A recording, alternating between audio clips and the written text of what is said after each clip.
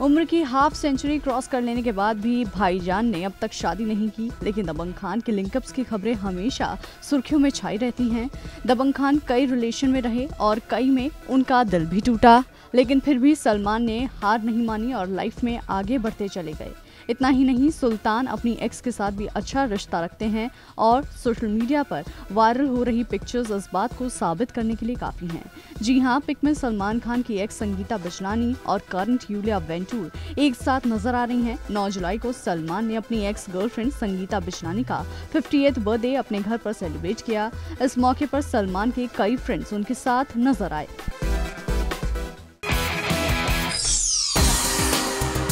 चंकी पांडे की लाडली अनन्या ने हाल ही में एक नए इनिशिएटिव की शुरुआत की। सोशल मीडिया पर ट्रोलिंग के खिलाफ शुरू हुए इस इनिशिएटिव का नाम सो पॉजिटिव रखा गया, लेकिन अनन्या एक बार फिर अपनी गलती की वजह से ट्रोलिंग का शिकार हो गई। दरअसल, अनन्या ने अपनी दोनों बेस्ट फ्रेंड सुहाना और शनाया के साथ एक पिक शेयर करते हुए ट्विटर पर कैप्शन दिया चालीज एंजल्स जिसकी गलती से उन्होंने स्पेलिंग मिस्टेक करते हुए लिखा एंगल्स फिर क्या था? ट्रोलर्स को अनन्या को बुली करने का मौका मिल गया और उन्होंने लगा दी अनन्या की क्लास जैसे कि अनन्या को अपनी गलती का एहसास हुआ, उन्होंने झट से स्पेलिंग ठीक कर नया पोस्ट कर दिया और पुराने पोस्ट को डिलीट कर दिया। ये देख यूज़र्स को उन्हें ट्रॉल करने का डबल मौका मिल गया। एक के बाद एक ट्रॉलर्स अनन्या की इस इंटेलिजेंस पर ही कमेंट्स करने लगे।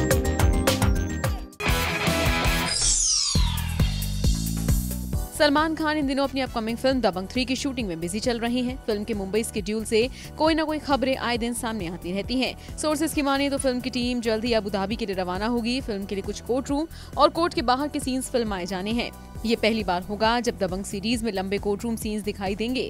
अबुधाबी में इन सीन्स को 15 दिन के स्केड्यूल में कंप्लीट किया जाएगा। बताया जा रहा है ये सीन्स फ़िल्म की स्टोरी का काफ़ी अहम हिस्सा है। अब अबुधाबी से सलमान को कितना लगाव है इसके बारे में बॉलीवुड 2020 पहले ही आपको बता चुका है। ऐसे में भारत के बाद अब एक बार फिर भाईजान अबुधाबी में शूटिंग के लिए जा रही हैं। बता दें, दबंग थ्री बीस दिसंबर 2019 को देश भर में रिलीज़ होगी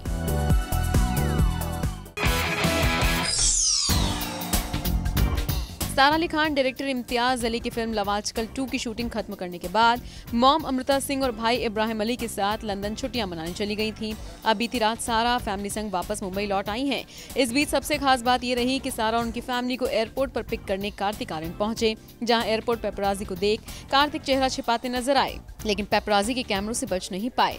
एयरपोर्ट पर कार्तिक ब्लैक स्वेट शर्ट में दिखे। इब्राहिम अली खान डेनिम शर्ट में हैंडसम दिख रहे थे। वहीं पिंक टी शर्ट में सारा अली खान भी खूबसूरत दिख रही थी। सारा अपनी मॉम और भाई के साथ दूसरी गाड़ी से घर गई। लेकिन कार में बैठने के बाद सारा पूरे टाइम फ़ोन पर बात करते हुए ही कैप्चर हुई। फ़िल्म हैप्पी हार्डी हीर का मोशन पोस्टर रिलीज़ हो गया है। फ़िल्म में मेन लीड में है हिमेश रेशमिया, जो फ़िल्म में दो अलग अलग कैरेक्टर्स करते नज़र आएँगे। फ़िल्म में हिमेश की को स्टार है सोनिया मन। फ़िल्म को दीपशिखा देशमुख और सविता मानिक चंद प्रोड्यूस कर रही हैं और इसका डायरेक्शन किया है राका ने। फ़िल्म की शूटिंग ग्लास्को में हुई है और ये फ़िल्म सितंबर 2019 में रिलीज़ होगी।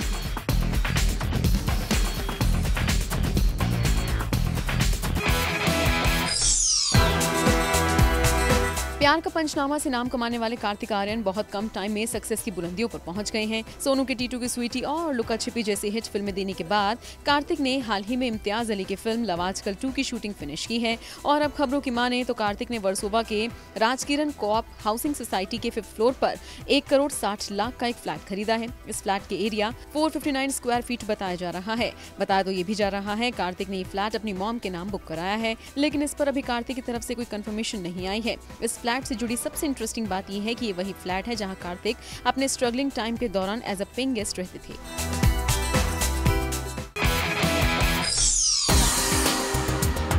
बॉलीवुड गलियारों से सेलेब्स के लिंक का ब्रेकअप की खबरें तो आए दिन आती हैं, लेकिन जब खबरें शादी की आने लगती हैं तो कुछ ज़्यादा ही अटेंशन ग्रैप करती हैं। अब बॉलीवुड 2020 एक बार फिर ऐसी ही खबर आपके सामने लेकर आया है। जैसे कि आप जानते हैं, शक्ति कपूर की लाडली और फ़ेमस फोटोग्राफर रोहन श्रेष्ठा के रिलेशनशिप की चर्चाएँ हर किसी की ज़ुबान पर हैं।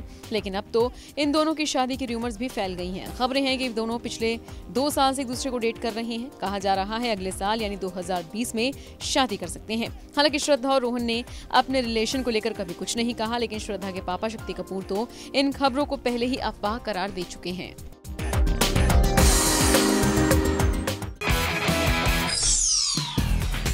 दीपिका के हबी रणवीर सिंह अपने बिंदास स्टाइल और यूनिक ड्रेसिंग सेंस के लिए हमेशा से लाइमलाइट में रहते हैं। हाल ही में रणवीर ने एक फ़ेमस मैगजीन के special men's edition cover page के लिए फ़ोटो शूट कराया है। इस मैगजीन के कवर पेज पर रणवीर कपिल देव वाले लुक में नज़र आ रहे हैं। रणवीर इन दिनों कबीर खान की फ़िल्म तिरासी की शूटिंग कर रहे हैं। फ़िल्म में वो ex Indian cricketer Kapil Dev का कैरेक्टर प्ले कर रहे हैं। हाल ही में रणवीर ने फ़िल्म से अपने कैरेक्टर का लुक भी सोशल मीडिया पर रिलीज़ किया था।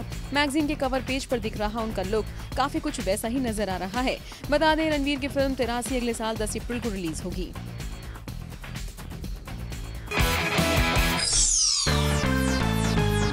दबंग खान कभी अपने लिंक अप कभी ब्रेकअप तो कभी अपनी फिल्म्स या किसी की हेल्प के लिए हमेशा सुर्खियों में छाए रहते हैं। और आजकल तो सलमान अपनी शादी को लेकर कुछ ज़्यादा ही चर्चाओं में है। हर कोई सलमान खान की शादी कब और किससे होगी, इसी सवाल का जवाब जानना चाहता है। खैर, सलमान तो अक्सर अपनी शादी के सवाल पर टाल मटोल कर देते हैं, लेकिन हाल ही में उन्होंने एक ऐसा खुलासा किया जिस पर विश्वास करना उनके फैंस के लिए मुश्किल होगा। एक इंटरव्यू के दौरान सलमान से पूछा गया कि क्या कभी किसी ने उन्हें प्रपोज किया है? तो इस पर सलमान हँसते हुए जवाब देते हैं। नहीं, ऐसा कभी नहीं हुआ क्योंकि मैं कैंडल लाइट डिनर नहीं करता, क्योंकि मैं नहीं देख सकता कि मैं कैंडल की रोशनी में क्या खा रहा हूँ। लेकिन मुझे इस बात का दुख है कि आज तक मुझे किसी ने इसीलिए अप्रोच तक नहीं किया।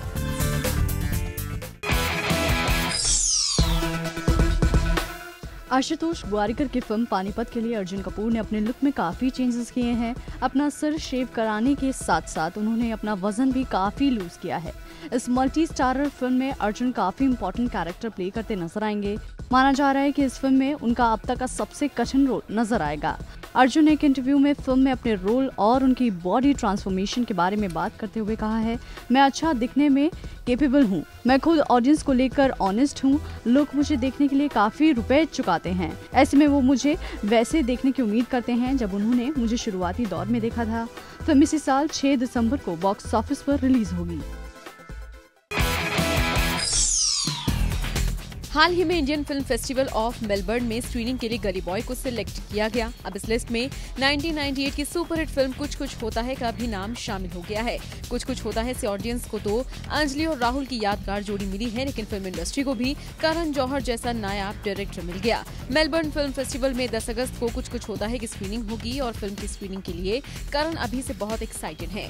करण ने अपनी एक्साइटमेंट ज़ाहिर करते हुए एक इंटरव्यू में बताया कि ये उनके 20 साल की जर्नी का फल है। साथ ही करण ने बताया की फ़िल्में डायरेक्ट करना उनका जुनून है और इसका रिवॉर्ड मिलने पर वो काफ़ी खुश हैं और जश्न मनाने के लिए काफ़ी excited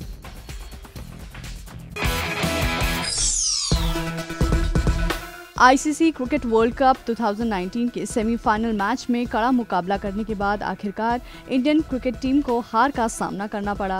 मैच के बाद सोशल मीडिया पर अलग अलग रिएक्शन सामने आ रहे हैं।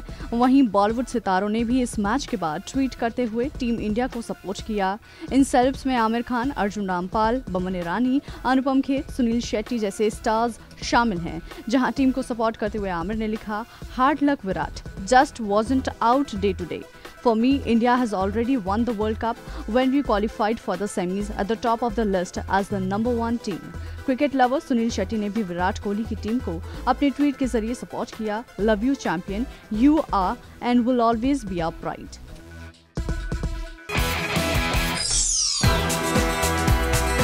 Swara Bhasker का ट्रोलिंग से पुराना नाता है। ट्रोलर्स आए दिन उन्हें किसी न किसी बात पर ट्रोल करते रहते हैं और सुरा भी उन्हें मुँह तोड़ जवाब देने से नहीं चूकती। हाल ही में एक बार फिर ऐसा हुआ, लेकिन इस बार ट्रोलर ने अपनी हद पार की तो सुरा ने मुंबई पुलिस से शिकायत कर दी, जिस पर पुलिस ने एक्शन भी लिया। दरअसल एक ट्रोलर ने अपने ट्वीट में अभद्र भाषा का प्रयोग कर सोरा के लिए काफ़ी अपमानजनक बातें लिखी और उन्हें गालियाँ दी। सोरा ने इस ट्रोलर के ट्वीट पर कमेंट करते हुए लिखा, in his own words, mad, proud and fortunate nationalist and Hindu, bringing shame upon his religion and nation. Also I think this qualifies as harassment और ईव टीजिंग और समथिंग इतना ही नहीं, सोरा ने ट्वीट में मुंबई पुलिस को टैग किया। सोरा के tweet पर इंस्टेंट एक्शन लेते हुए मुंबई पुलिस ने भी सोरा को कार्रवाई का आश्वासन दिया।